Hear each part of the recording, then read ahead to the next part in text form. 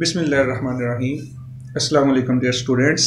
My name is Mohammad Faisal Saleem and I will teach you about data communication and network in our third semester today the topic which we are going to discuss is introduction to data communication जैसा कि आपको पता है कि data communication जो है, ये बहुत ही हॉट टॉपिक है आजकल के स्नैरियो में। हम देखते हैं कि हम बहुत सी चीज़ें अपने दोस्तों के साथ शेयर करते हैं, हम मैसेज डिलीवर करते हैं, हम अपनी पिक्चर्स को पोस्ट करते हैं, हम मुख्तलिफ़ किस्म की एप्लीकेशंस को इस्तेमाल करते हैं। जैसा कि फ़ेसबुक है व्हाट्सएप है एट्सट्रा मुख्तलिफ़ किस्म की आपके सामने एप्लीकेशन हैं। जैसा कि हमारा ये जो लेक्चर है, ये भी आप तक जो पहुँच रहा है, ये भी एक डाटा कम्युनिकेशन की बहुत ही अच्छी एग्ज़ाम्पल है। तो मेरे ख्याल से ये कोई बहुत ही कम्प्लेक्स किस्म का टॉपिक नहीं है कम्प्लेक्स किस्म की जो कोर्स है वो नहीं है। बड़ा ही इंटरेस्टिंग है। अगर आप इसको इंटरेस्ट लेके कैरी करेंगे तो ये आपके लिए बड़ा ही इंटरेस्टिंग और बड़ा इजीली आप इसको अंडरस्टैंड कर सकते हैं। तो let's move towards our today's topic overview हमारा जो लेक्चर का ओवरव्यू है, उसमें आज हम पाँच स्टेप्स के ऊपर बात करेंगे। First one is data communication after that we will discuss about types of data communication structures फिर हम उनकी करेक्टरिस्टिक्स को देखेंगे और उसके बाद कम्युनिकेशन सिस्टम जो है एक उसका एक थोड़ा सा जायज़ा लेंगे। फिर उसके बाद जो कंपोनेंट्स हैं कम्युनिकेशन सिस्टम के, उनके ऊपर थोड़ी सी बात करेंगे।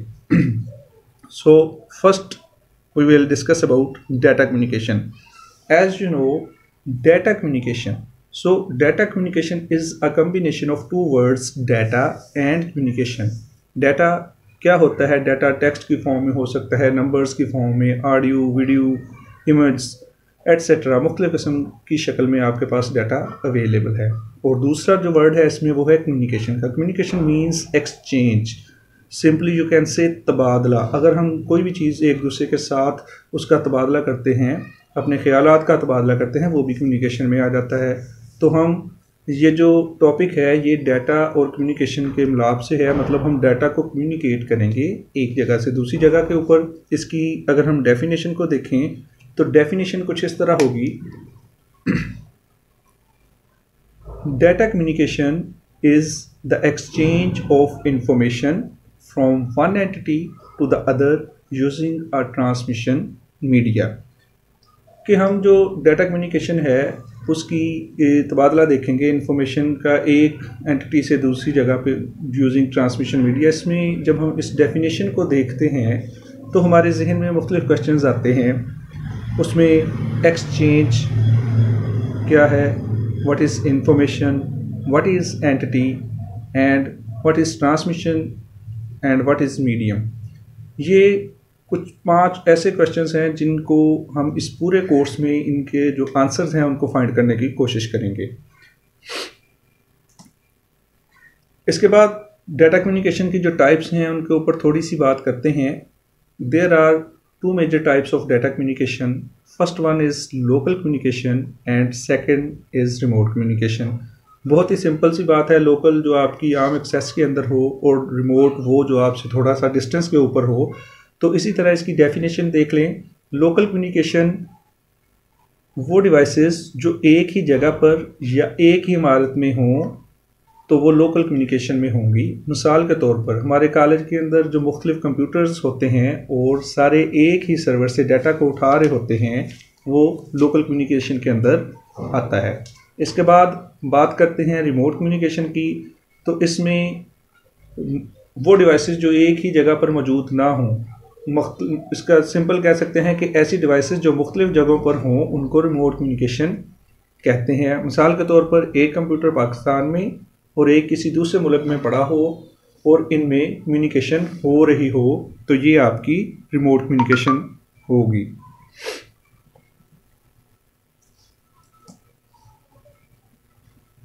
Structure of simple data communication system जो हमारा सादा एक कम्युनिकेशन सिस्टम है, उसका स्ट्रक्चर क्या है कि उसमें एक सेंडर होता है, वो अपना मैसेज किसी भी दूसरे बंदे को सेंड करना चाहता है और वो जो दूसरा बंदा है, उसको हम रिसीवर बोलते हैं। तो जो एक सादा कम्युनिकेशन सिस्टम है, उसमें एक पैगाम भेजने वाला होता है, एक उसके अंदर पैगाम होता है और दूसरा जिसको वो पैगाम भेज रहे हैं, वो बंदा होता है। तो इसकी थोड़ी सी डिटेल्ड फॉर्म में आपको शो करवा देता हूँ। कम्युनिकेशन स्ट्रक्चर में जो उसकी थोड़ी सी डिटेल्ड स्ट्रक्चर है, वो आपको नोट्स के ऊपर भी मिल जाएगी। उसमें सोर्स सिस्टम मतलब जहाँ से डाटा आप भेज रहे हैं, उसको सोर्स कहते हैं। उसमें सोर्स होगा और ट्रांसमीटर होगा। ट्रांसमीटर क्या करेगा? आपका जो पैगाम है, वो उसको इस काबल बनाएगा मतलब उसके, उसको इनकोड करेगा इस तरतीब में कि उसको आप किसी भी जगह के ऊपर किसी मीडियम के ऊपर ट्रांसमिट कर सकें। तो जो सोर्स और ट्रांसमीटर है, ये आपके सोर्स सिस्टम का हिस्सा है। फिर आगे आ जाता है ट्रांसमिशन सिस्टम ट्रांसमिशन सिस्टम जो है, ये बेसिकली आपका जो इनकोडेड मैसेज है, उसको गाइड करता है डेस्टिनेशन की तरफ़। उसको रास्ता बताने के, बताता है सिंपली उसके बाद वो जो मैसेज है, आपका रिसीवर के पास पहुँचता है, वहाँ पर रिसीवर जो है, वो बेसिकली उस मैसेज को इनकोडेड फॉर्म में रिसीव करके उसको डिकोड करता है, ताकि आपकी जो डेस्टिनेशन है, वो उसको अंडरस्टैंड कर सके। So receiver and destination is your the part of your destination system next देखते हैं जी characteristics of data communication system ये बहुत ही अहम हैं और ये बहुत ही ज़रूरी हैं। इनको याद रखना बहुत ज़रूरी है। बड़ी सिंपल सी हैं। कोई भी कम्युनिकेशन सिस्टम उस वक्त तक कम्युनिकेशन सिस्टम नहीं कहलाएगा जब तक कि वो इन तमाम चारों की चारों करेक्टरिस्टिक्स को फुलफ़िल नहीं करता। तो ये सबसे पहले इसमें देख लें। Delivery delivery of message, system has ability to deliver the message. मतलब वो सिस्टम जो मैसेज को डिलीवर करने की, के अहल होगा, वही मतलब इसमें, इस कम्युनिकेशन सिस्टम का मतलब वो एक कम्युनिकेशन सिस्टम कहलाएगा। जैसे आप टीसीएस एक हमारा डाक का निज़ाम है या कोई भी हमारा जो पाकिस्तान पोस्ट है, वो उसको ले लें। तो वो कोई भी जो डाक का आम सादा सा निज़ाम है, उसमें देख लें कि उसमें सबसे पहले जो करेक्टरिस्टिक्स है, वो डिलीवरी की है। कि वो टीसीएस को देख लें कि वो इस काबिल है कि वो आप जो भी उसको पैगाम देंगे, वो आपका पैगाम जहाँ आप भेजना चाहते हैं, वहाँ वो उसको डिलीवर करेगा। All over the world secondly जो दूसरी उसकी खसूसियत है टाइमलाइन की। System has ability to deliver the message on time मतलब आप जो मैसेज भेज रहे हैं, वो वक्त के ऊपर वहाँ पर पहुँचना ज़रूरी है। ये एबिलिटी भी आपके टीसीएस जो आम डाक का निज़ाम है टीसीएस का, उसके अंदर मौजूद है कि आप उसको जो भी अपना पार्सल लेटर या जो भी चीज़ आप उसको डिलीवर करना चाहते हैं, वो आपका बिल्कुल टाइम के ऊपर डिलीवर करता है। अगर टाइम के बाद उसको डिलीवर किया जाए तो वो यूज़लेस हो जाता है, उसका कोई फ़ायदा नहीं होता। तो सिस्टम जो कम्युनिकेशन सिस्टम है, उसकी दूसरी जो क्वालिटी है करेक्टरिस्टिक है, वो खसूसियत जो है, वो टाइम लाइन है। जो उसकी तीसरी खसूसियत है, जो कम्युनिकेशन सिस्टम में होनी ज़रूरी है, वो है उसकी एक्यूरेसी कि system has ability to deliver the message accurately मतलब उसमें कोई इंटरप्शन ना करे, उसमें कोई किस्म, किसी किस्म की चेंजेस ना करे जैसा मैसेज भेजा गया है, वो बिल्कुल वैसा ही मैसेज आपकी डेस्टिनेशन तक पहुँचाए। तो ये भी जो खसूसियत है, ये टीसीएस में या हमारे जो भी आम डाक के निज़ाम है उसके अंदर मौजूद है तो कम्युनिकेशन सिस्टम का जो तीसरा, तीसरी करेक्टरिस्टिक है, वो है एक्यूरेसी नंबर फोर के ऊपर आते हैं, जो इससे सबसे लास्ट पे है, उसे जीटर कहते हैं।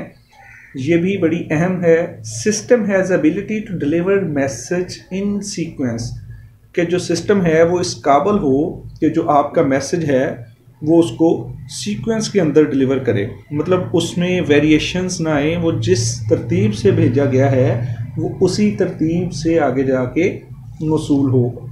बेसिकली हमारे जो कंप्यूटर सिस्टम में कम्युनिकेशन होती है, उसमें अगर ऑडियोज़ और वीडियोज़ को देखा जाए तो ये कंटिन्यूस ट्रांसमिशन होती है और इसमें जो पैकेट्स हैं वो मतलब डिलीवर हों और वहाँ डेस्टिनेशन के ऊपर सीक्वेंस में रिसीव होंगे। अगर सीक्वेंस में डिस्टरबेंस आ गई तो आपका मैसेज जो है वो सही नहीं रहेगा तो ये भी एक आपके कम्युनिकेशन सिस्टम की बड़ी ही अहम करेक्टरिस्टिक है।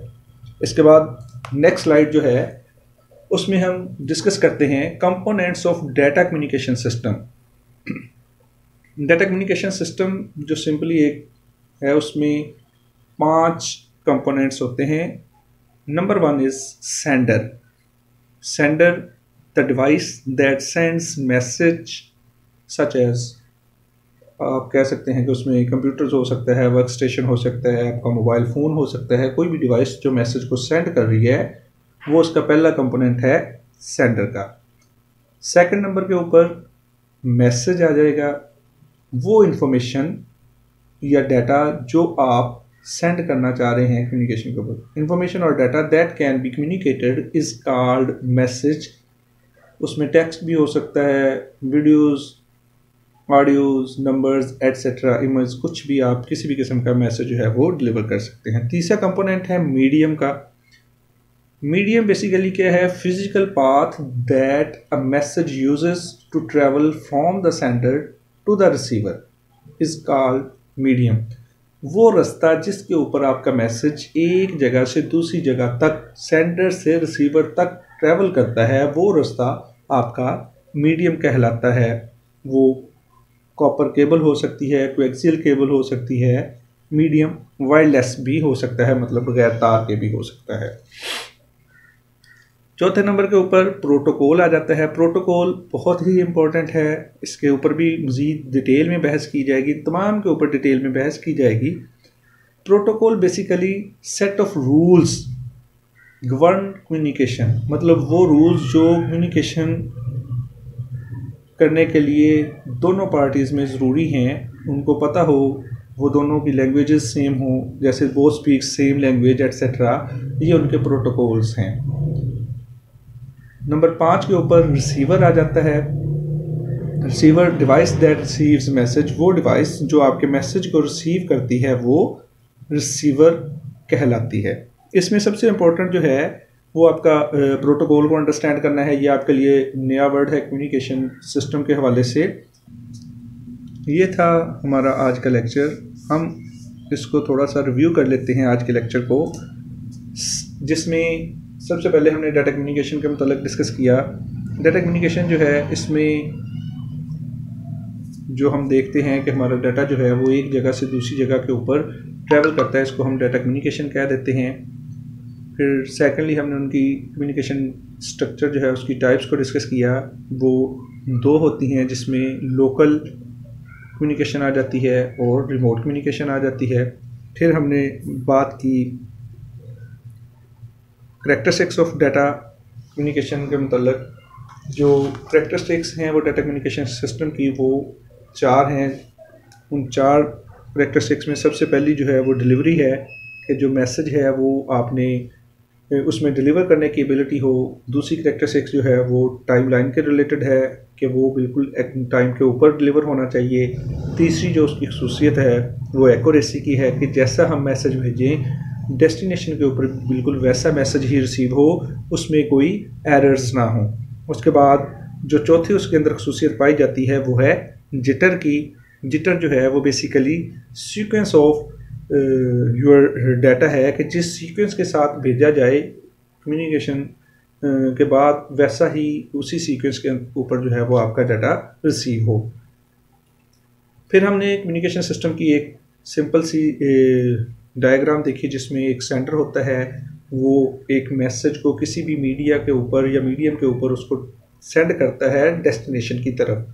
और वो जो डेस्टिनेशन है, वो बेसिकली रिसीवर कहलाती है। तो इन पूरे कम्युनिकेशन सिस्टम को हम नेक्स्ट लेक्चर के अंदर भी एलेबोरेट करेंगे। जो हमारा एक्चुअल आउटलाइंस है, उसमें भी हमारा इसी किस्म का पहला टॉपिक है।